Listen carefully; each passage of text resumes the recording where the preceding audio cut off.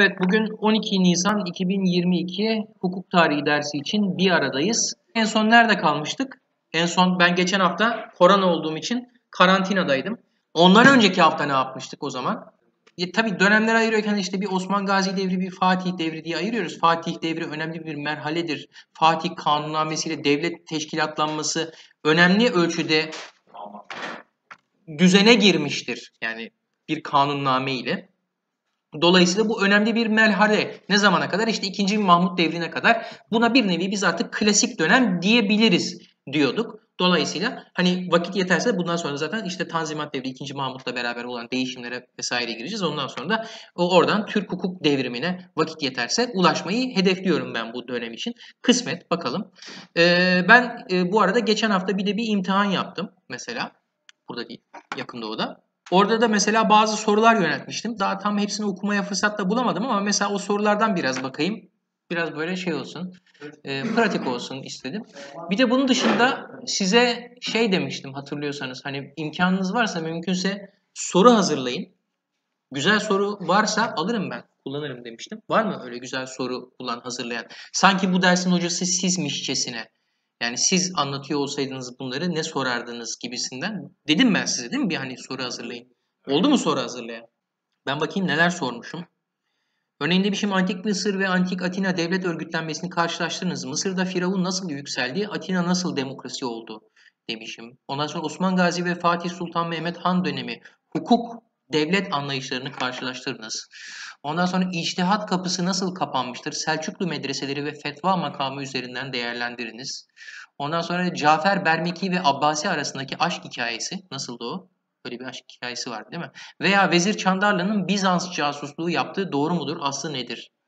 Ondan sonra Komenda, komandit şirketlerin tarihsel gelişim sürecini anlatınız. Sertlik nasıl oluşmuştur? Kuzeybatı Avrupa'da sertlik nasıl son buldu? Bu bölgede işçi ücretlerinin yükselişini ve bu yükselişin sonuçlarını değerlendiriniz demişim. Kandaşlar ve Uygarların ordu anlayışlarını Osmanlı örneği üzerinden karşılaştırınız demişim. Sonra Diokletianus'un piyasaya müdahalesi nasıl sonuçlanmıştır? Osmanlılar bu konuda nasıl bir başarı sergilemişlerdir? Sergileyebilmiş mi? Klasik bunlar. Yani ben hep klasik yapıyorum. Hani bekliyorum ki buna böyle cevap yazın. Ondan sonra Osmanlı neden zekat toplamaz? Osmanlı vergi sistemini kısaca anlatınız. Onun dışında askeri sınıf hangi zümrelere ayrılır? Reaya hangi zümrelere ayrılır? Aralarındaki farklar nelerdir? Ondan sonra da Katolik papazlar ve Yeniçeriler arasındaki benzerlik nedir, nedendir demişim mesela. 12 soru sormuşum. Bunlardan 4 tanesini seçip cevaplandırınız demişim. Kolay mıymış? Güzel. O zaman bana söyleyin bakayım. Katolik papaz Katolik papazlar ve Yeniçeriler arasındaki benzerlik nedir, nedendir? Yani bunun, bunları ben bir, bir saat süre veriyorum bu soruları sorduğumda. işte dört tanesini cevaplandırın diye bir çarşaf kağıt veriyoruz bir de dört yaprak. Hani her birine birer sayfa ayırırsınız diye. Hani dolayısıyla sadece evlenemezler çünkü devlet kudretlensin derseniz böyle iki satır kafi gelmez. Biraz bunun böyle altında yatan gerekçeleri falan da açıklayabilmeniz lazım. Ben bayağı açıklamıştım kendimce vakti zamanında. Yani merkez otorite nasıl güçlenecek, devletleşme nasıl olacak, işte bu Vatikan örneği örneğin başlangıçta nasıl ruhani bir otoriteyken sonra zamanla siyasi bir otoriteye dönüşüyor. Bunu başarabilmek için kendi ajanları, kendine bağlı bürokratları, yönetici bir elit sınıfı olabilmesi lazım. Bunları sadece kendisine bağlayabilmek için söz gelimi Katolik papazların evlenmesi edilmesini yasaklıyor. Kilise mallarının satılmasını yasaklıyor. Ondan sonra bu kilise görevlerine kimin ne şekilde atanıp getirileceğini parayla bu işlerin yapılmasına engel oluyor. Bunları sadece merkezden atanabileceğini, Vatikan'dan, Papa tarafından atanabileceğini belirleyip böylece Papa'nın gücünü, kudretini Roma Kilisesi'nin gücünü arttırmış oluyor. O sayede zamanla böyle politik siyasi bir ne oluyor? Kudret bir otorite haline gelmeye başlıyor Roma Kilisesi ve zamanla hatta diğer devletlerin e, meselelerine de müdahil olmaya başlıyor. İki farklı Katolik krallık arasında mesele olduğunda bir hakem gibi karşınıza çıkabiliyor. Mesela böyle kararları var, etkileri var. Yaptırımlar uygulayabiliyor. Interdiktumları var. Interdiktum neydi mesela? İşte bir excommunicato var yani aforoz etme bir de interdiktum. Yani bir taraftan kralı imparatoru e, dinsiz ilan edebiliyor. Öbür taraftan da bütün memleketi dinsiz ilan edip bütün kilise faaliyetlerini orada durdurabiliyor. Öyle olunca ne oluyor? Mesela pezantlar da kiliseye gidemiyor. Annesi babası ölüyor. Cenaze merasimi yapamıyor. Bilmem ne yapamıyor. O zaman insanlar diyor ki ya bu münafık kral yüzünden biz cehenneme gideceğiz. Krala ayaklanıyorlar. Kralın başı e, fena halde ne oluyor? Karışıyor tabii. Başına belalar gelecek. Ondan sonra ne oluyordu mesela? 6. Heinrich veya 5. Heinrich olması lazım. Yalın ayak hırpani bir kıyafetle gidip özür diliyor papadan. Affet beni diyor. Çünkü başına bela olmuş bu interdiktum ve excommunicato. Hani tekrar Hristiyan alemine kabul edilsin, tekrar onun idaresindeki topraklarda kilise ayin yapabilsin ki işte böyle isyanlarla uğraşmak zorunda kalmasın. Mesela böyle dertler oluyor. Öbür taraftan mesela Osmanlılar'da bakıyoruz Yeniçeri kendine ayrı bir ordu oluşturuyor. Bundan bir önceki sorularından bir tanesi de ordu meselesi. İşte kandaşlar ve uygarlar orduyu nasıl değerlendirir diyorduk. Hani kandaşlarda herkes hep beraber zaten silahlılar. Hep beraber hep beraber hareket ediyorlar. O toplumsal bütünselliğin tamamı zaten ordu. Herkes silahlı. O bir yurttaş ordu zaten. Roma'nın erken devirlerinde bütün Roma yurttaşları silahlanıp gidiyordu. Onların silahları kendi silahlarıydı. Babasından kalan kalkanı, mızrağı falan vardı değil mi? Ortada böyle vergi toplayan bir tüzel kişilik yoktu. Silahları satın alsın, birilerine bu silahları zimmetlesin, birilerine asker diye öyle bir şey yoktu Roma'da mesela erken dönemde. Bu bir yurttaş ordusuydu. Sonra Marius reformuyla mesela profesyonel orduya, paralı orduya geçtikten sonra zamanla ne olmaya başladı artık? Bunlar paralı askerlik yapmaya başlıyor. O zaman bu Romalılar artık yurttaş ordusu olmaktan çıkıp profesyonel orduya geçince generallerine sadık olmaya başlıyorlardı. Mesela Roma'nın başına bazı belalar geliyordu. Üçüncü yüzyıl krizi geliyor mesela. Diocletianus durumu toplamaya çalışacak daha sonra. İşte Kandaşlarda başlangıçta hep beraber herkes silahlı. İşte Alp gaziler, bütün orada Osman Gazi'nin peşinden giden Türklerin hepsi zaten silahlılar. Oradaki Türklerin hepsi zaten kendiliğinden ordular dolayısıyla. Ve Osman Gazi'yi de kendilerine eş omuzdaş görüyorlar. O bir primus inter pares eşitler arasında birinci dolayısıyla. O zaman ne oluyor? O sadece bir hakem gibi, takip edilen adil bir yönetici gibi aslına bakıyorsanız. Kendilerinden üstün gördükleri birisi gibi değil. Oysa ki burada bir işte söz gelimi Fatih Sultan Mehmet gibi bir imparator olabilmesi, devlet olabilmesi, halktan yüksek bir konuma çıkabilmesi için devletin neydi? Meşru cebir tekeli vardı. Hani günümüzde mesela siz kafanıza göre silahlanamazsınız değil mi? Ancak devlet size müsaade ediyorsa silah sahibi olabilirsiniz. Devlet hepinizin silah sahibi olmasını yasaklayabilir. Örneğin Ortaçağ Avrupa'sında pezantların, köylülerin kesinlikle silahları olamazdı. O yüzden bazen filmlerde görüyorsunuz pezantlar ellerinde yabalarla falan ayaklanıyorlar. Çünkü kılıcı kalkanı yok ki o pezantların. Ne yapacak? O da tırmıkla falan gidecek harbe bir şey olduğunda dolayısıyla üzerinde zırhı yok bir şey yok. O zaman şövalye onları kolayca tepeleyebilecek. Şövalyenin çünkü zırhı var, kılıcı var, silahı var. Pezantların yok. O yüzden onlar ayaklanamıyor. Devlet onlara zor uygulayabiliyor. Zor uygulayabilmek için sizin silahlı olmanız, zor uygulayacağınız insanların da silahsız olması lazım. Kandaşlıktan uygarlığa geçiş biraz da budur. Devletin silahlanıp ahalinin silahsızlandırılmasıdır. Dolayısıyla o toplumsal bütünselliğin dışında, o toplumun dışında Sadece yöneticiye bağlı, sadece yöneticiye medyun ayrı bir silahlı grubunuz olması, ayrı bir özel ordunuz olması lazım sizin. İşte söz gelimi bu Osmanlılar'da Yeniçeriler olacaktır. Merkez sipahiler olacaktır, kapı kulları olacaktır. Bunlar dolayısıyla sadece sultana bağlı olacaklardır. Sadece sultanın emirlerine uyacaklardır. Dolayısıyla onlar merkezin askerleridir. O merkezin gücüdür, kudretidir, kuvvetidir, devamlılığını sağlayan bir unsurdur. İşte bunların da şahsi çıkarları olmasın, sadece sultana bağlı olsunlar. Tek hedefleri sultana hizmet olsun diye aileleri olmaması istenmektedir. Nasıl işte Katolik papazlar da sadece kendilerini Roma Kilisesi'ne adayabilsinler, kendi şahsi çıkarları olmasın diye aileleri olmasına engel oluyor orada Papa. Burada da Sultan Yeniçerilerin as, e, ailelerin olmasına engel olacaktır. Dolayısıyla onlar mesela mücerretlik ikrarı getireceklerdir. Yani mücerret ne demek? İşte soyutlanıyor, ailesiz oluyor, mücerret oluyor, epter oluyor. İşte papazlardan oluyor? Kaelibus oluyor. O da mücerretlik gibi bir şey, ailesiz oluyor. Dolayısıyla o zaman sadece merkeze bağlı, kendini merkeze adamış bir grubunuz oluyor. Bir bürokrat kesiminiz, bir asker kesiminiz vesaire hizmetliğiniz, ajanınız oluyor. O zaman siz güçleniyorsunuz merkez olarak. İster Roma olsun ister işte Osmanlı Sultanı olsun. Bu böyle bir örnek. Dolayısıyla mesela ne demişiz? İşte askeri sınıf hangi zümrelere ayrılır? Riaya hangi zümrelere ayrılır? Aralarındaki farklar nelerdir demişiz mesela. Orada da neydi askeri sınıf? Önce onu biraz böyle anlatabilmek lazım. Hayır önce askeri sınıf şudur diye onu söyleyeyim bana. Ki ondan sonra içindekileri sayın. Niye? Askeri sınıfa dahil olan herkes asker mi? O da mesela kaz asker diyoruz. Kaz asker asker mi yani? E niye asker diyoruz kaz askere? Kaduyla asker. Devletin görevlisi olan herkese askeri diyorlar. Asker olmasa da. Sünüfu devlet bu. Askeri sınıftan kasıt bu. Ya kadı mesela yargıç. Asker değildir bu adam. Ama o da askeri sınıftan sayılıyor. Vatandaş diye bir şey yok bir kere ortada. Teba var, tabi olanlar. Reaya, onlar vergi mükellefi. Mesela fark koyacaksanız da askeri sınıf vergi vermiyor. Dolayısıyla onlar mesela vergi topluyor. Vergilerden gelirlerini alıyorlar hatta. Onların maaşı oluyor bir kısmı o vergileri. E şimdi askeri sınıf dediğiniz aslında devlet görevlileri demek. Asker değil bu. Ya içinde şey var. Maliye örgütlenmesindeki kalem erbabı bürokrat da var. Adam oturmuş maliye örgütlenmede işte vergi hesabı yapıyor. işte bilmem ne yapıyor. Vergilerin kaydını tutuyor. Bu adam asker değil ki. Savaş da olsa bir şey de olsa olsa da olmasa da. Bu adam asker değil. Adı asker. Devletin adamı, devletin görevlisi olduğu için asker. Sınıfı devlet, askeri sınıf şeklinde ifade edilen. Hani kadı ile askerde mesela ne? Askeri kadı, devletin kadısı, hükümetin kadısı. Askeri sınıftan olanları yargılayabilen üst düzey bir yargıç.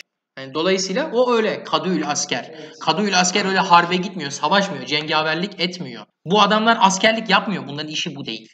Onu anlayın. Anlatabiliyor muyum? Hani verginin kaydını tutan bürokrat da askeri diye anıyorsunuz çünkü. Kalem erbabı adamlar. Kimdi bu askeri sınıfın içerisinde? İlmiye. Ne demek ilmiye? İlmiye Endoyar'ından yetişmiyor. İlmiye medreseden yetişiyor. İlmiye ne? Ulema. Ulema ne? Alim tekil, ulema çoğuldur mesela. Ulema olanlar ya yargıçlık yapar, kadılık yapar ya müderrislik yapar. Bunların arasında paralel geçiş imkanları da vardır. Üst düzey eğitim kurumlarındaki hocalar yargıçlığa geçebilir, yargıçlar hocalığa geçebilir vesaire. Onun belli usulleri, esasları falan var ama yani ulema dedim mi, ilmiye dedim mi bu insanları kastediyorsun ve bunlar doğuştan hür kimseler. Mesela bunlar öyle kul değil aslına bakıyorsanız. Çünkü bunlar Müslüman. Öbürleri neydi? Devşirme. Onlar Enderun'a falan gidiyor işte. O zaman ulema, ilmiye yani alimler ya işte kadı oluyor, yargıç oluyor, kazaskerliğe, şeyhülisyanlığa kadar yükseliyor. Böyle bir derecesi var bunun. Ya da işte müderrislik, mollalık yapıyorlar. İşte medreselerde hocalık yapıyorlar. Sahne semanda falan mesela. Değil mi? Bu ilmiye. Bir de seyfiye var. O işte kılıçlılar demek. O askeri. Gerçekten asker dediğiniz adamlar. Değil mi? Nedir mesela? İşte Yeniçeridir. Ondan sonra merkez sipahidir. Değil mi? Bunlar işte kapı kulları ve bunların komutanları ve hepsi aslına bakıyorsanız. Onun dışında ne var? Kalemiye var. Kalemiye işte bu kalem erbabı bürokratlar, teknokratlar yani yazan çizen adamları bu devletin. Kayıtlarını tutan, devlet işlerini yapan memurları. Bunlar mesela daha ziyade en büyük, en kalabalık kesimi aslında bakıyorsanız mali örgütlenme içerisindedir. Bir de öbür tarafta ne var? Mülkiye. Mülkiyede bunlar üst düzey yöneticiler. İşte mesela söz gelimi vezirler değil mi? Bunların hepsi askeri sınıf. Sınıfı devlet içerisinde yer alır. Bunlar vergiden muaftır. Bunlar vergi vermezler. Vergiyi toplarlar. Değil mi? Ondan sonra işte saydığımız gibi ilmi haricinde diğer üçü kuldur. Sultanın kullarıdırlar. Devşirmedirler. İşte ilmiye sadece hürdür. Reayaya gelecek olursak peki. Reaya nasıl ayrılıyor? Hangi zümrelere bölünüyor? Müslim, gayrimüslim. Peki gay, yani sadece böyle gayrimüslimler diye bir tek grup var, bir de Müslümler diye grup var. Her bir, bir şekilde ayrılıyor bunlar demek ki. Neymiş o zaman bu? Yani ne, ne diyoruz buna? Millet sistemi diyoruz ya. Milletler var, milletlere böyle. Onun bir adını koy, ondan sonra şu şu şu diye say. Hani bir tarafta mesela askeri sınıf budur budur budur de. Sonra gel ondan sonra reaya budur budur de. Ne olduğunu. Reaya ne demek? Riayet eden demek. Teba yani işte askeri sınıftan olmayan geri kalan herkes, bütün popülasyon. Bunlar nasıl ayrılıyor? Bunlar da millet sistemi içerisinde örgütleniyor. Ya Müslüman, ya Rum, ya Ermeni, ya Musevi diye ayırıyorsunuz. Değil mi? Onların ayrımları da neye göre oluyordu mesela? Kimler Rum oluyordu? Kimlere Rum diyorsun? Rum ne demek? Rum Romalı. Vatandaş değil arkadaşlar. Vatandaş diye bir şey yok yani. Ulus devlet olsun hele bekleyin bir. Ulus devlet icat edelim ondan sonra vatandaş diye bir şey çıkar. Ama daha vatandaş yok. Bunlar teba, tabi olanlar. Ha, riayet edenler, reaya. Rum, Romalı demek. Yani Romalılar. Ya bak Kur'an'da da Rum suresi var. Neyi? Romalıları anlatıyor. Romalılardan bahsediyor. Değil mi? Kur'an'daki Rum suresi. Kim Rum?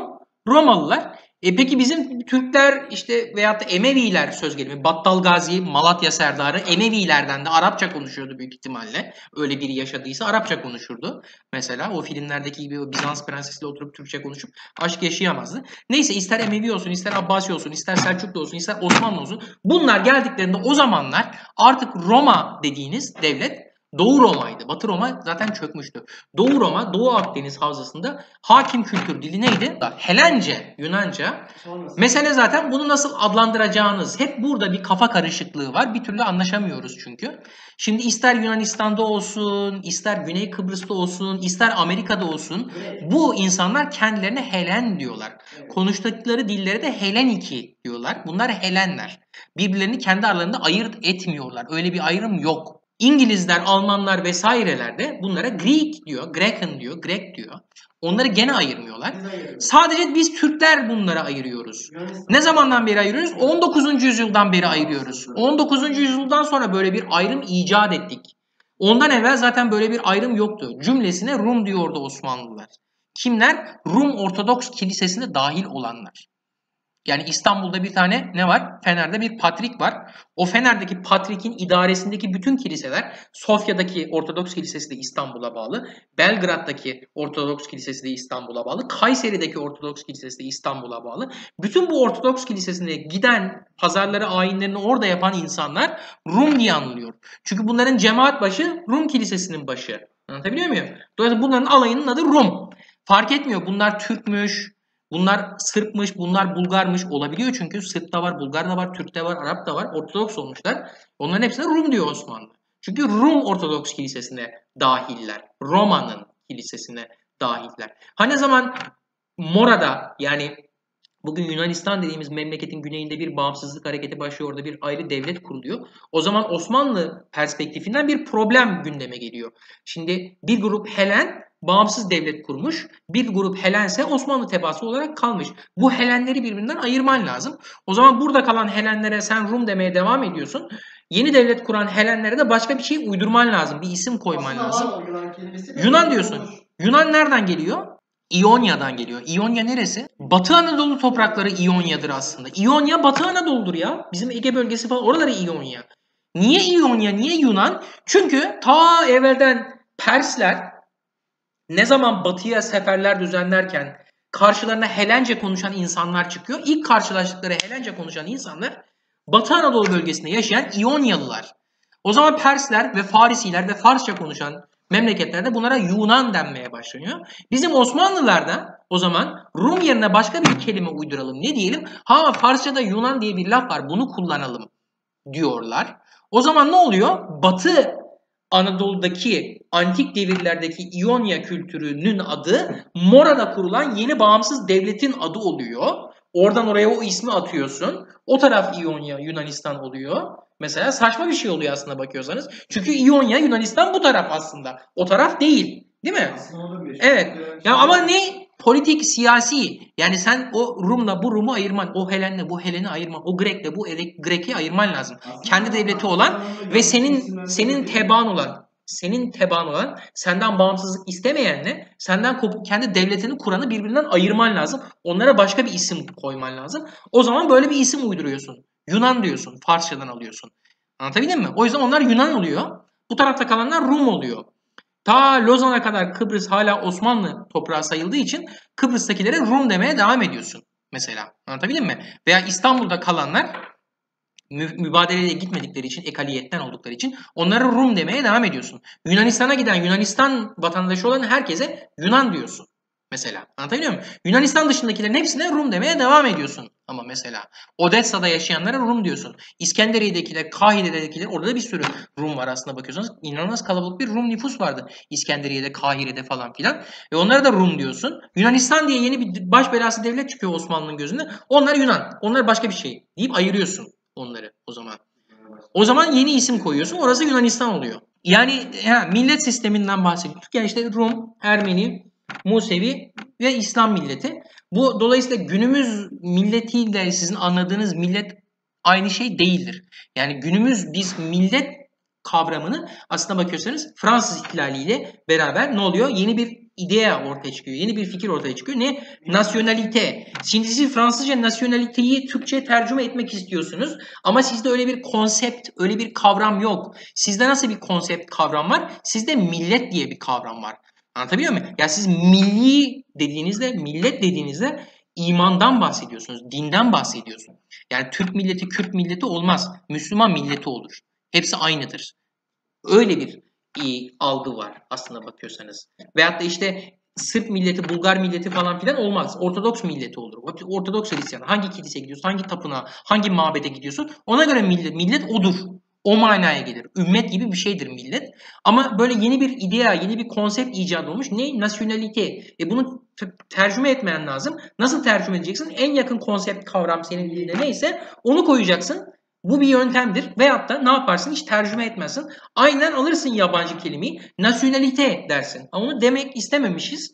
Onun yerine nasyonaliteyi millet diye tercüme etmişiz. O zaman Alman milleti, Fransız milleti, Osmanlı milleti diye bir şeyler icat olmuş. Yani sonradan mesela ulus kavramı çıktı. Ulus demek istediler. Ama yok bunlar. Bunlar anakronik olur. Çünkü bu 1789'da ortaya çıkmış bir fikir. Dolayısıyla bundan daha öncesinde bunu karşılayacak bir kavram bulamaz. Karşılamaz. Hani ne bileyim işte budun dersin, soy dersin, bilmem ne dersin de mesela o zaman budun diyen, o zaman soy diyen, bilmem ne diyen bugünkü milletin nasyonaliteyi kastetmiyordu zaten. E, dolayısıyla sen ne kullanırsan kullan onu karşılamayacak. Ama öyle veya böyle, doğru veya yanlış milleti almışız. Millet diye tercüme etmişiz. Artık günümüzde millet millet demektir. Yani sözlü açtığınızda millet de kastedilen artık ümmet değildir. Ümmetle millet ayrı şeylerdir.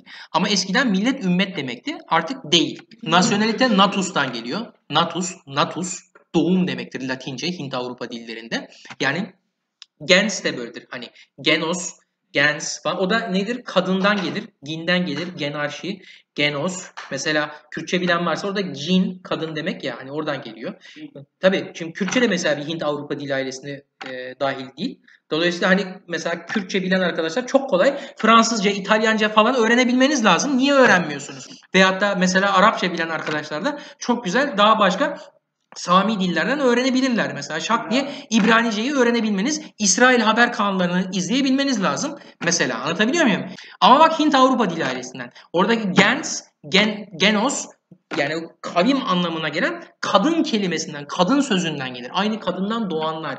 Hani jin de, gen de aynı şey. Gen, bak şimdi genlerimiz diyoruz yani DNA falan filan. O gen lafı da oradan geliyor. Bunlar hep kadınla, doğumla, kanla alakalı şeylerdir dolayısıyla. Bak natus, nata, nationalite o da bunlarla alakalı. Doğumla alakalı.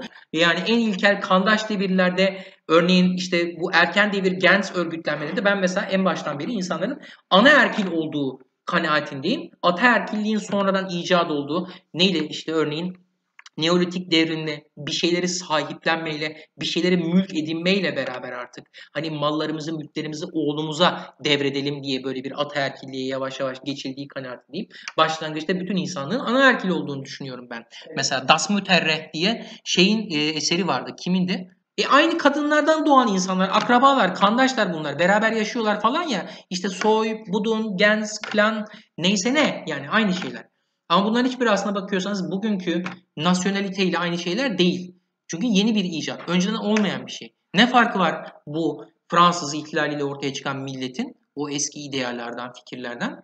Ya bugün Türk milleti diyorsun. Ne demek Türk milleti? Mesela anayasayı açarsanız Türk milletini size nasıl anlatıyor anayasa? Demek ki böyle ırkla mırkla alakalı değilmiş. Mesela Kerkük'te Türkmenler var, Azerbaycan'da Türkler var, Kırım'da Türkler var. Onlara sen şey demiyorsun yani, hukuken Türk demiyorsun. Sen hukuken Türk dedin mi kime anlatıyorsun? Elvan Abeylegesse hanımefendi mesela bir Türk. Bu hanımefendi Elvan Abeylegesse mesela. Evet Türkiye'yi temsil ediyor olimpiyatlarda. Kendisi aslen Kenyalı. Ama Türk vatandaşı olduğu için hukuken Türk. Dolayısıyla Türk de sizin kastettiğiniz ne demekmiş? Demek ki vatandaşlıkla alakalı bir şey değil mi? Ulus devletle alakalı bir şey. O millet dediğin o senin dolayısıyla. O şey demek değil. O, o kanı Türk olan, Türkçe konuşan herkes o değil o.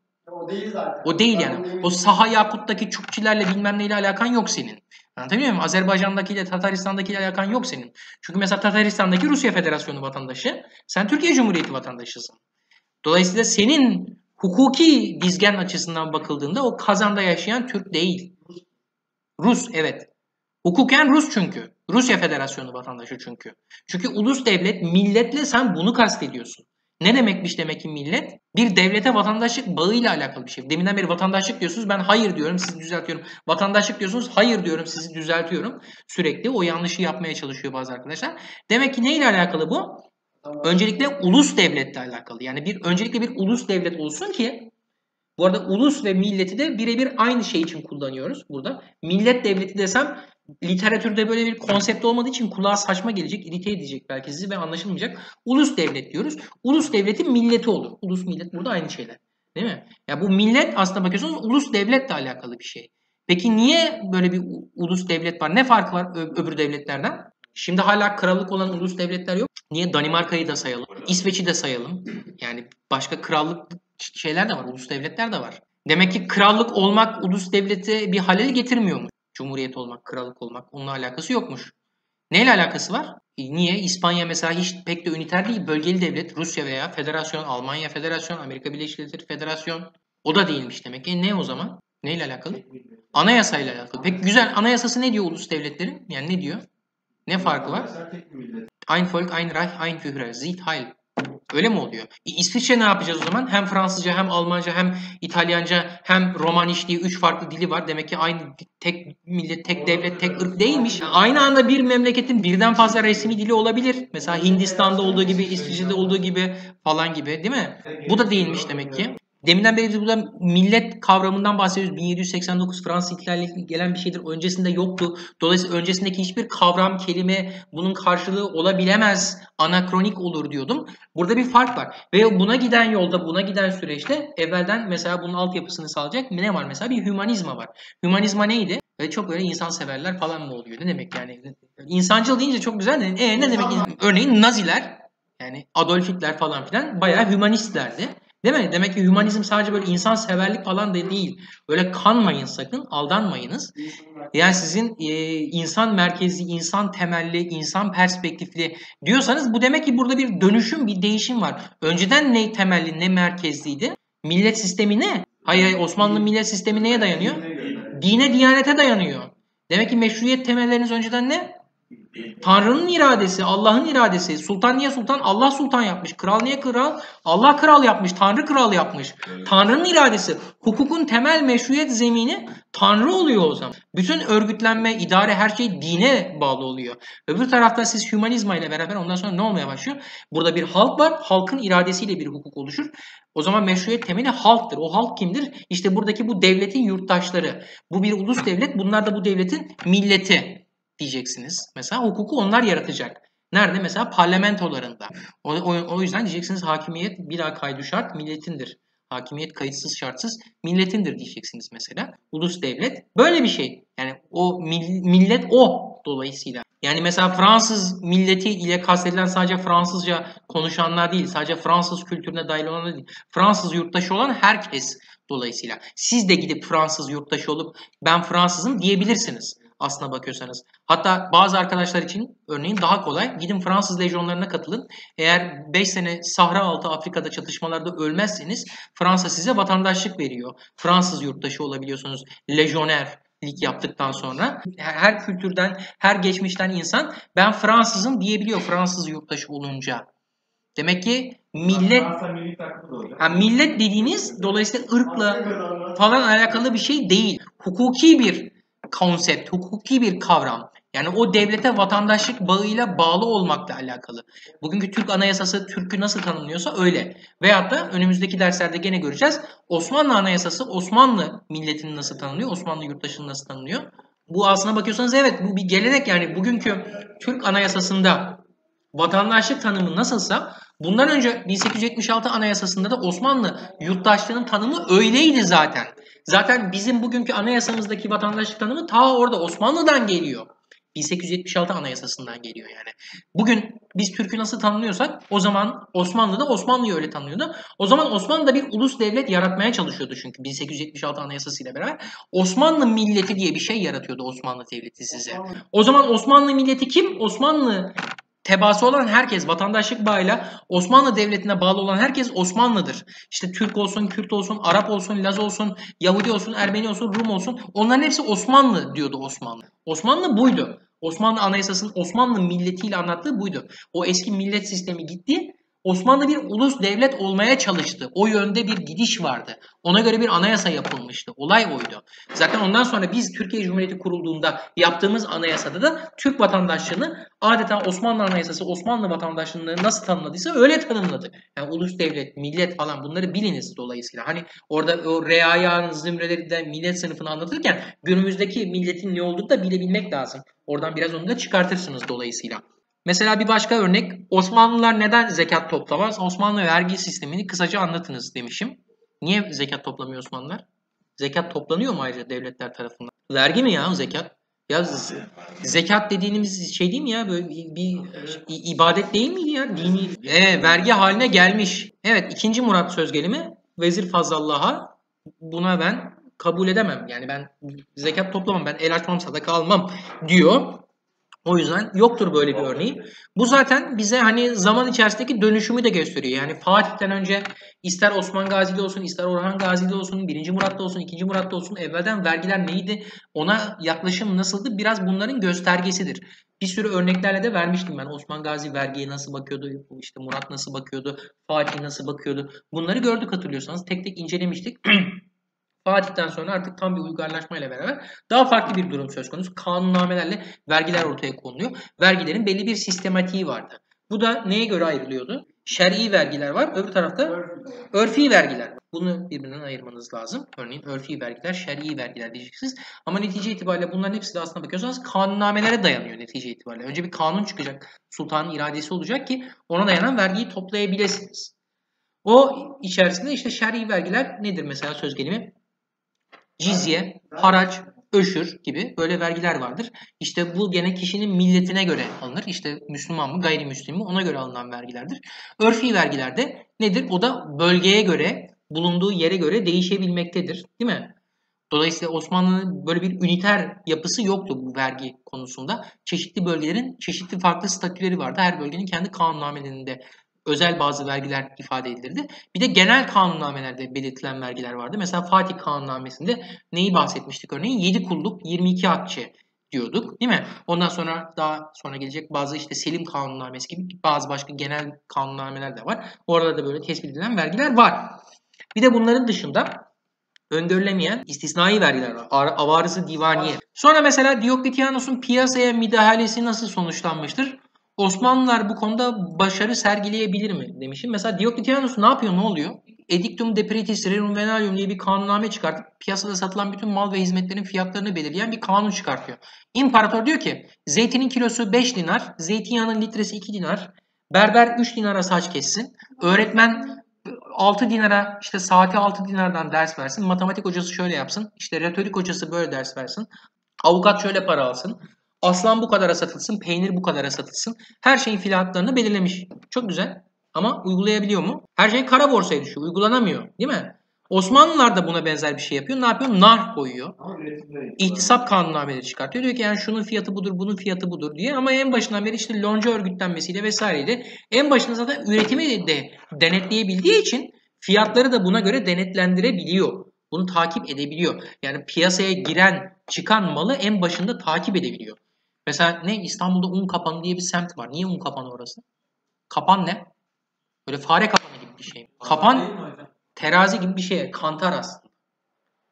Mesela İstanbul'a un getiren gemiler oraya yanaşır. Unlar o kantarlarda tartılır, kaydı tutulur. Bu kadar un girdi piyasaya. İşte yağ kapanı, bal kapanı, un kapanı ayrı bunlar. Belli yerleri var her malın gittiği. Onlar sayılacak, tespit edilecek, kaydedilecek, depolara gidecek. Ondan sonra ona göre piyasaya dağıtılacak. Başından bu kadar kontrol edebiliyorsanız siz bunları e, fiyatlarını da tespit edebilir, takip edebilirsiniz. Yani dolayısıyla Osmanlı bu konuda piyasaya hükmetme konusunda daha başarılıdır İmparator Diokletianus'a nazaran. Yani dolayısıyla ortalıkta bir serbest piyasa ekonomisi de yoktur. Ve buna ilişkin Osmanlı bazı vergi, e, şey, maliye politikaları vardı, bazı şeyleri vardı, e, ilkeleri vardı. Neydi bunlar mesela? Tradisyonalizm, fiskalizm ve iaşe ilkesi gibi ilkeleri var. Yani bir gelenekçi, fiskalist ve iaşeci yani piyasada bol mal bulunsun. Bizim arzu ettiğimiz bol mal bulunması. Ama öbür taraftan mesela bu esnada Osmanlı'nın böyle bir iktisat politikası varken Avrupa'da merkantalizm söz konusu. O da ne? Olabildiğince mal satıp olabildiğince altın toplayalım. Olabildiğince azami kar elde edelim. Sen tam tersine Karı boş ver mal bol olsun. Para önemli değil. Önemli olan ekmek diyorsun, peynir diyorsun. Değil mi? Onu bol bulundurmaya çalışıyorsun. Ona göre bir politik oluşturuyorsun. O zaman diyorsun ki ithalat vergileri nasıl olsun, ihracat vergileri nasıl olsun diyorsun. İhracat ne demek? İthalat ne demek? Dışarı giden mala çok vergi koyacaksın. İçeri giren mala az vergi koyacaksın. Bol bol içeri mal gelsin, dışarı az mal gitsin. Öbür tarafta Avrupalı ne yapıyor? Tam tersini yapıyor.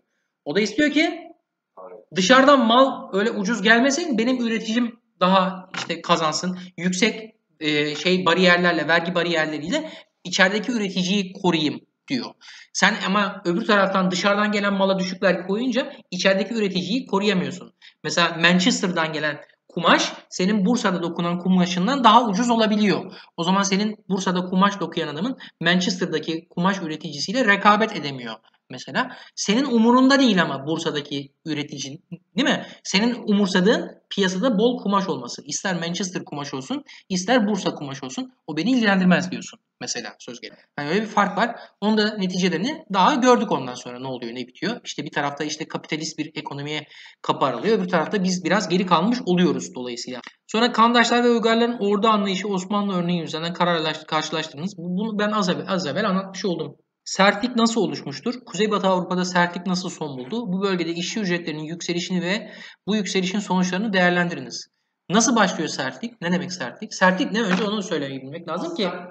Bir de böyle bakın sorunun içinde zaten öncelikle yazmanız gereken bir şey vardır. Mesela sertlik nasıl başladı demeden önce sertliğin ne olduğunu söylemek lazım. Peki ne, ne fark var başka köylülerden? Peki o zaman şunu şöyle söyleyeyim bana. Bu sertlik nasıl başladı? Derebeylik ne zaman başlıyor? Feodalizm ne zaman başlıyor? Ortaçağ ne zaman başlıyor? Batı Roma yıkılınca başlıyor diyorsunuz. Peki. Ya Batı Roma yıkıldı Avrupa'da. Sertlik diye bir şey birden böyle pıt diye ortaya çıktı. Evvelden yoktu öyle bir şey. Nasıl vardı? Yani sert dediğimiz bizim ne bir kere? Toprağa bağlı köylü. Toprağa bağlı. Ayrılamıyor oradan. O toprağın lordu her kimse ona bağlı. Lord değişir, o köylü değişmez. Orayı terk edemiyor. Oranın beyine bazı angarya yükümlülükleri var. Ücretsiz bazı işler yapıyor. Ne zamandan beri? İmparator Diokletianus'tan beri. Niye? Roma az kalsın yok oluyordu. İmparator bunu tekrar düzene koymak için bir taraftan böyle piyasayı belirleyen kanun koyarken öbür taraftan üretim durmasın, üretim devam etsin diye insanlar dağlara kaçıyor. Dağlar daha güvenli. Ovaları terk ediyorlar. Zorla ovaya bağlıyorsun, toprağa bağlıyorsun. Zorla oturtuyorsun.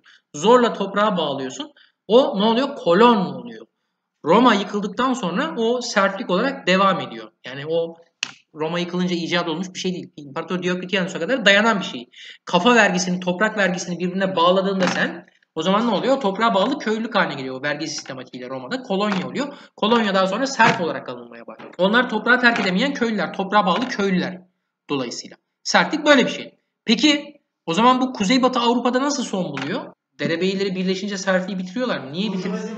Niye? Merkezi otoritenin hoşuna gitmez mi? Bir sürü insan köle gibi toprağa bağlı kendisi için çalışsın. Ya mesela Osmanlı köylüsünün çok büyük farkları var mı bu konuda? Onların da çift bozan arkesi vermeden toprağı terk edememe vaziyeti var mı? Gidemiyor. O da toprağa bağlı. E bizde feodalite yok diyoruz. Niye bitti ya Kuzeybatı? Değil mi? Orada bitti diyor bak bir de. Kuzeybatı, Kuzeybatı Avrupa'da niye bitti diyorum. Demek ki bak hala Almanya'da, Macaristan'da, Romanya'da, Rusya'da bilmem nerede var demek ki. Ticaret yapıyorlar diye mi? Kim ticaret yapıyor? Köylü mü yapıyor da bunlar zengin oluyor? Orta sınıf yapıyorsa köylü niye zengin, fakir şey kurtuluyor sertlikten? Ne oluyor mesela? Veba yüzünden ne oluyordu? Veba salgınıyla beraber popülasyon çok azalıyor değil mi? Bir sürü insan ölüyordu. Kara veba hatırlıyorsunuz değil mi? Kara vebada bir sürü insan ölüyor. Popülasyon düşüyor. Binlerce insan, milyonlarca insan ölüyor. Ne oluyor insanlar ölünce? Mesela sen derebeysin, lordsun.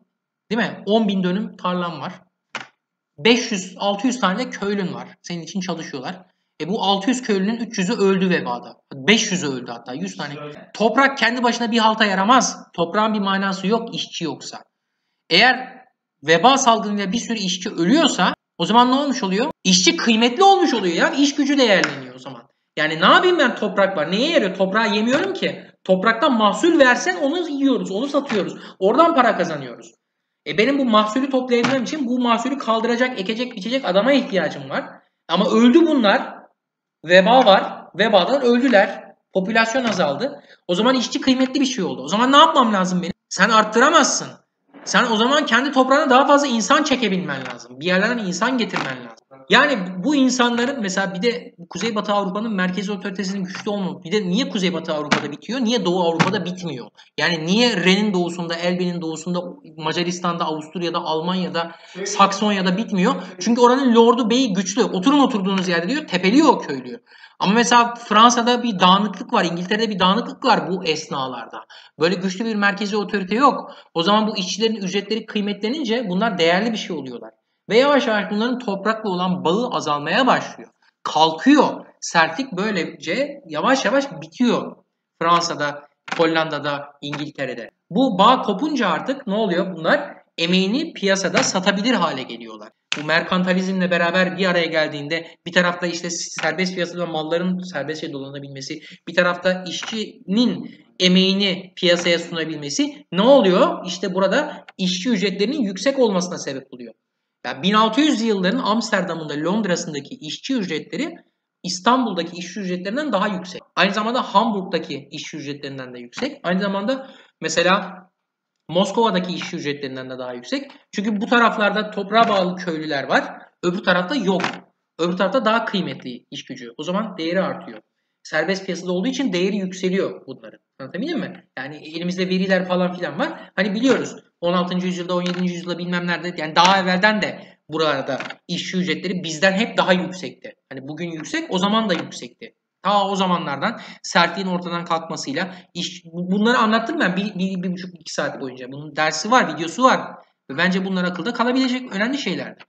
Neyse demek ki böyle son bulmuş. Bu bölgede iş ücretlerinin yükselişi ve yükselişin sonuçlarını değerlendirdiğinde böylece değerlendirmiş olduk. İşte bu böylece yavaş yavaş kapitalizme kapı aralıyordu. Kapitalizm ne demek? Kapital sermaye demek. Kapitalist sermayeci dolayısıyla aslında onu anlatıyor. Sermaye ile alakalı bir şey. Sermaye ile iş yapıyorsunuz.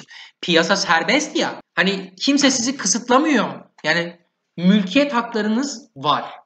Anlatabiliyor muyum? İşçilerin de emeğini satabilme imkanı var. Sizin de mülkiyet haklarınız var. Sizi bunu koruyan, kollayan, düzenleyen bir hukuk sistematiği var. Birileri bir yerlerde yatırım yapıp bir iş kuruyor. Birileri bir şeyler üretiyor. Oradan kar elde ediyor. Bu. Hani tutup da orada derebey, lord bilmem ne işçilere musallat olup sizin paranızı elinizden almıyor.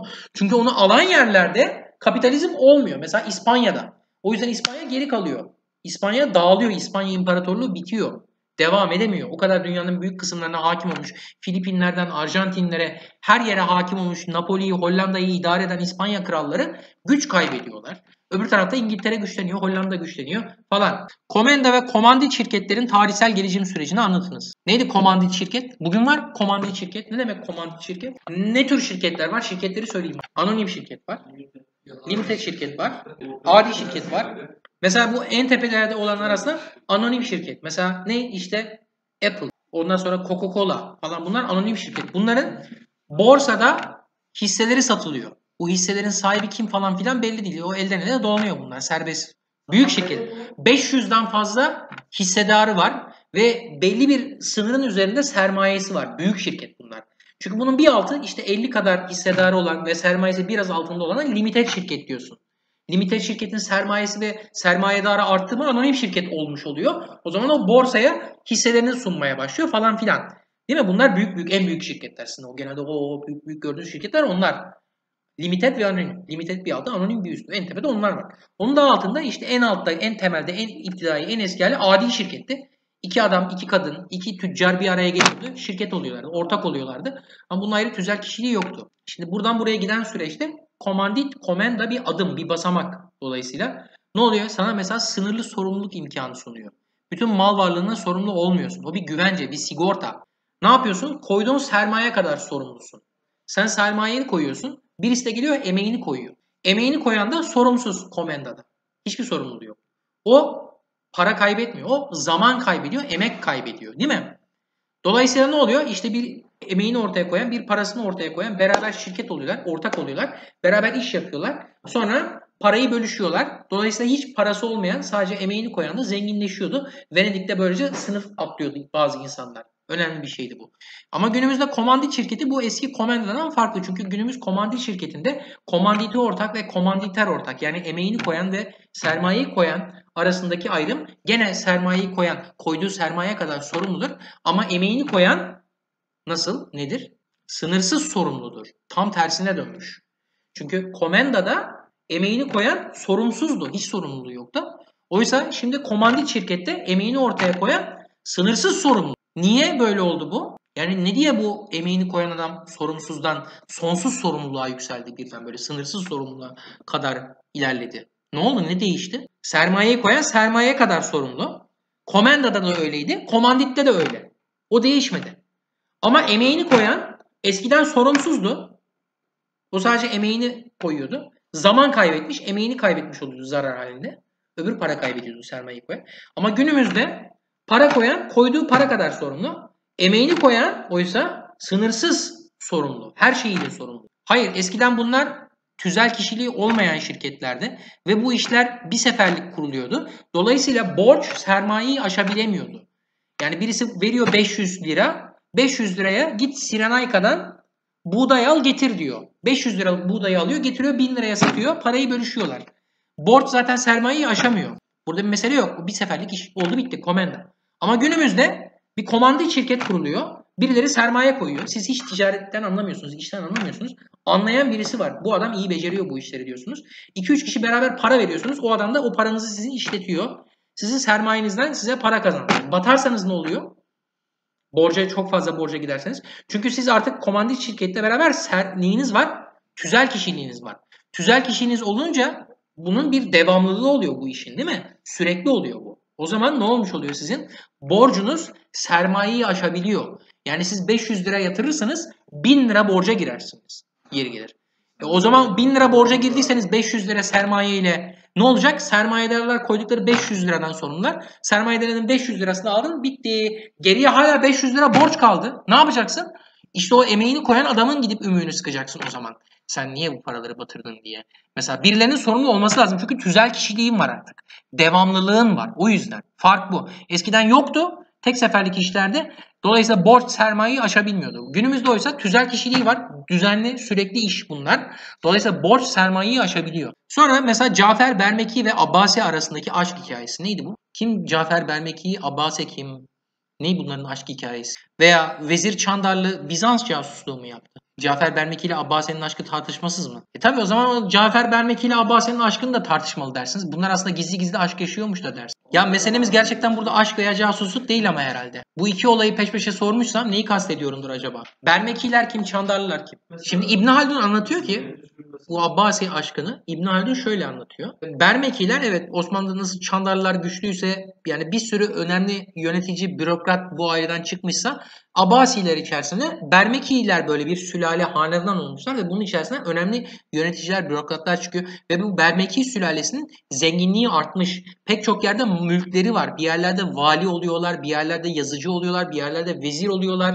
Anlatabiliyor muyum? Bir yerlerde liman gelirlerini kontrol eden yazman oluyor, onun vergisini takip eden adam da Bermekilerden çıkıyor. Her yerde Bermekiler var. Bunlar adeta bir paralel hanedan gibi olmuşlar. Halife bunları kendisine bir tehdit olarak görüyor. O zaman ne oluyor? Bütün Bermekileri katlediyor. Bütün ber, bütün Bermekileri hapsediyor. Bütün Bermekilerin mallarına el koyuyor. Genel haber kanalları olmadığı için böyle meseleler halk arasında ne oluyor? Dedikodu konusu oluyor. İnsanlar diyorlar ki ya Cafer Bermeki vezir vardı. Halife bunları şey yaptı, idam etti. Aslı niye? Ya aslında bu halifenin kız kardeşiyle bu gizli gizli aşk yaşıyormuş. Halife de bunu öğrenince çok kızmış. Sen benim bacımla nasıl aşk yaşarsın? Vay bre melun hain demiş. Ondan sonra Cafer Bermeki'yi de asmış. Aa görüyor musun sen falan diye böyle bir dedikodu dolaşmış halk arasında. Bunu konuşuyorlar Bağdat'ta. Bağdatlıların işi gücü yok. Halifenin kız kardeşiyle vezirin arasında aşk hikayesi varmış diye. Ya kim uydurduysa yani bir, biri bir taş atıyor bir kuyuya. Ona onu çıkartamıyorsun. Böyle herkes anlatıyor. Tamam diyelim ki gerçekten böyle. Diyelim ki gerçekten Cafer Bermeki ve Abbase gizli gizli aşk yaşıyorlardı. Ve halife de bunu öğrendi. Tamam güzel. Cafer Bermeki kızdı astı. E tamam o zaman bu Cafer Bermeki'nin kardeşlerini, babasını, amcasını bilmem niye bütün sülalesini katlediyor? Niye hepsinin malına mülküne koyuyor? Ya bunun derdi demek ki bu aşk değil. Burada bir aşk da yok zaten büyük ihtimalle. Size İbn Haldun da böyle anlatıyor. Bak halk böyle böyle anlatır ama işlerin aslı budur. Böyle böyle oldu. Halife gökte iki güneş istemez. O yüzden Bermekileri tepeledi. O yüzden onların mallarını müsaade etti. Onları görevlerinden aldı diyor size. Anlatabildim mi? E Çandarlılarda da benzer bir durum bahane. Yani tabii ki de yani koskoca Osmanlı sadrazamının herhalde yıkılmakta olan bu Bizanslılardan öyle bir balığın karnında biraz altınla geçimlik sağlayacak hali yoktur. Niye hallettiniz Çandarlı'yı? E çünkü böyle mesela. Niye Cafer Bermeki'yi katlettiniz? Çünkü öyle. Mesela anlatabiliyor muyum? Hani burada mesele? İşte sultana merkez otoriteyi tehdit teşkil eden bir burada paralel hanedan aile ortaya çıkmakta. O yüzden onları tepeliyor sultan. İçtihat kapısı nasıl kapanmıştır? Selçuklu medreseleri ve fetva makamı üzerinden değerlendiriniz. Şimdi yaklaşık olarak ne zaman son bulur bu içtihat kapısı? 10-11. yüzyıllarda yavaş yavaş oluyor. Peki 10-11. yüzyıllarda İslam alemi ne halde, ne oldu? Abbasi halifeleri diyoruz. Abbasi devleti var diyoruz. Peki Abbasi devleti ne kadar hakim bu coğrafyaya? Mesela Bağdat'ta kimin sözü geçiyor? Büveyhoğulları. Mısır'da kimin sözü geçiyor? Fatımilerin. Büveyhoğulları ve Fatimiler Şii. Yani Abbasi halifeliği zaten göçmüş. Yani yıkılmadı. Hala bir Abbasi halifesi var. Bağdat'ta ne hükmü var? Ne önemi var? Halife dediğimiz bizim neydi? Evet siyasi liderdir ya. Devlet başkanıdır. Ya o papa gibi bir şey değil ki yani. Tarikat lideri değil ki bu adam. Bu adam devlet başkanı. Bu adamın dini, uhrevi hiçbir tarafı yok. Hiçbir uhrevi tarafı yok. Yani halife dediğin emrinde asker olan, ülke yöneten, devlet idare eden devlet başkanıdır.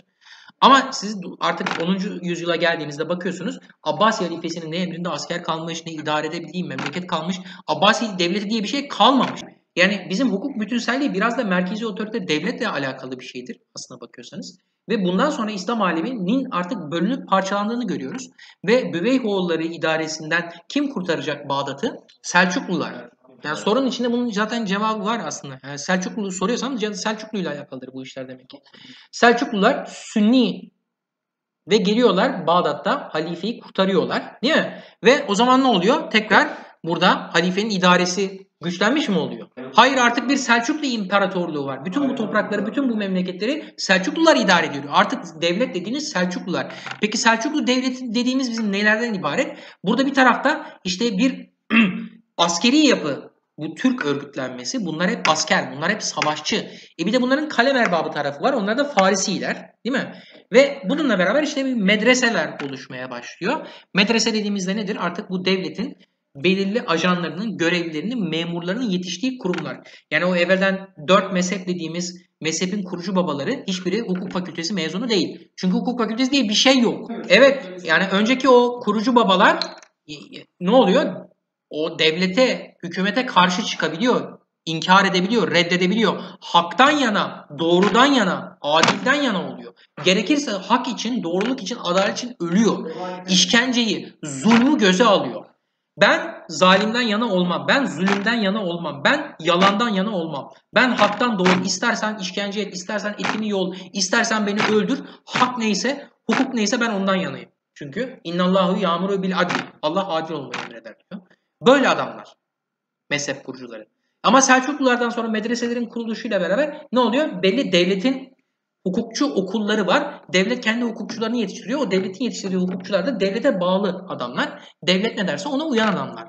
O zaman artık ne olmaya başlıyor? Şimdi İslam hukukunun kaynakları dediğimiz neydi? Kur'an, sünnet, icma, kıyas.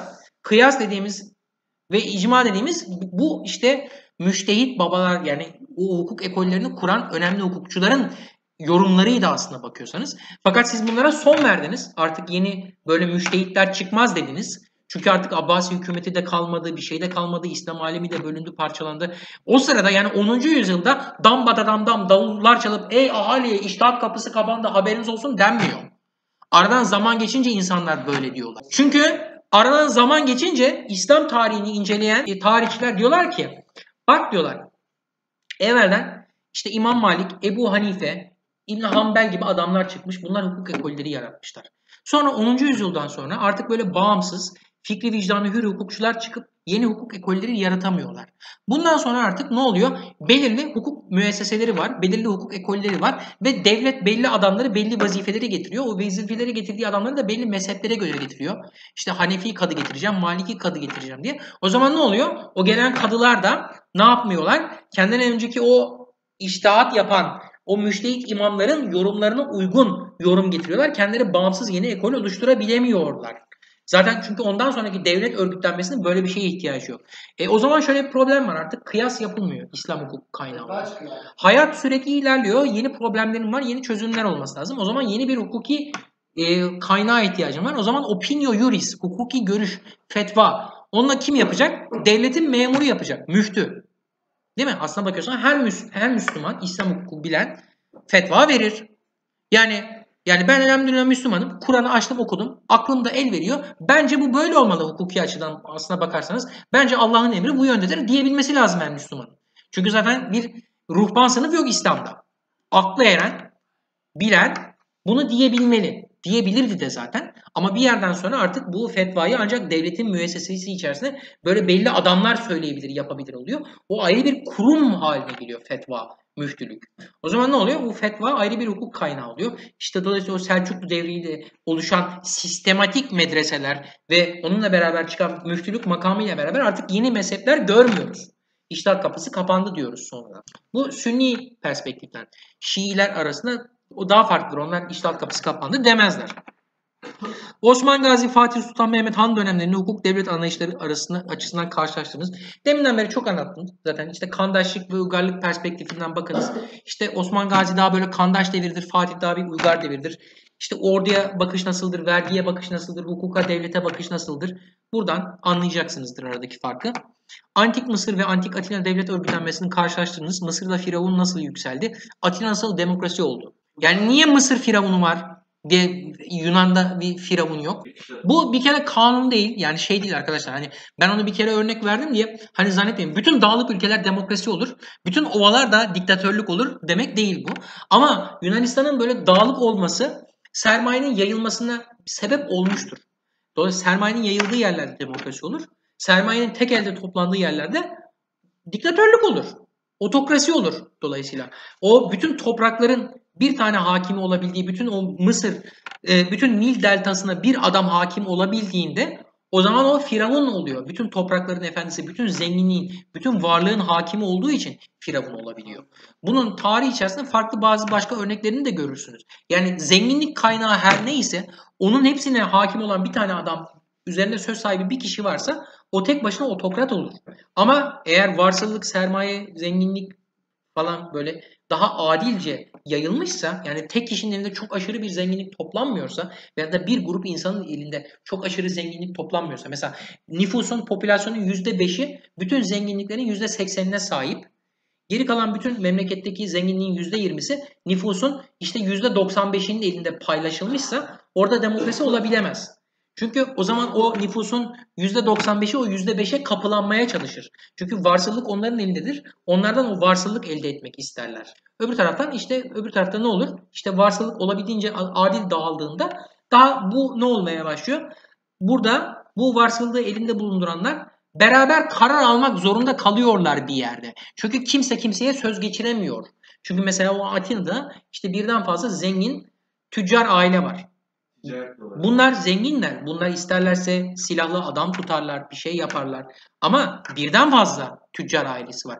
Yani bir tüccar aile zenginliğiyle öbür tüccar aileyi tepeledi, öbürü öbürünü tepeledi. Hepsi birbirini tepeler, ortakta bir şey kalmaz. Ama bunlar eğer işbirliği yapabiliyorlarsa, oturup konuşup uzlaşıp beraber bir fikir verebiliyorlarsa, beraber karar alabiliyorlarsa bir bütünsellik arz eder, bir güç oluşturur. Bunu becerebiliyorlarsa işte Atina demokrasisi olur. Ne olur? Çevresine hakim olur, güç olur. Yani o hep öyle olmak zorunda değil. Yani meselemiz yani varsıllık nasıl dağılıyor? Yani mülkiyet hakları ne kadar korunuyor? Kimin elinde ne kadar zenginlik var? Kimin elinde ne kadar zenginlik var? Yani birisi bütün zenginliği elinde toplayıp başkalarını bütün mallardan yoksun bırakabiliyor mu? Bir sürü insan fakir kalıp bazı insanlar zenginleşebiliyor mu? O zaman ne oluyor? Ortada otokratik bir yön. Bak mesela şimdi Rusya Federasyonu nasıl? Belli oligarklar var. Belli böyle süper zengin adamlar. Ya bazı Ruslar bu kadar böyle trilyonlarca lira eden yatlar alıyor, katlar alıyor, özel jetler alıyor, bilmem neler yapıyor. İşte bilmem nerede villalar alıyor, bir şeyler yapıyor. E bakıyorsun bir sürü Rus aç kalmışlar. Yağ kuyruklarına, şeker kuyruklarına giriyorlar. Hani demek ki orada bir şeyler yanlış gidiyor. Yani birileri aşırı zengin olmuş, birileri aşırı fakir olmuş. O yüzden Rusya pek de demokratik bir memleket değil. Mesela. Ama mesela ne bileyim işte başka bir memleket en ufağına en küçüğünü örnek veriyorum ki daha böyle vurucu olsun diye. Hangisini veriyordum? Mesela Liechtenstein. Liechtenstein'ın en zengin adamı kim biliyor musunuz? Ne bileyim ben ben de bilmiyorum yani.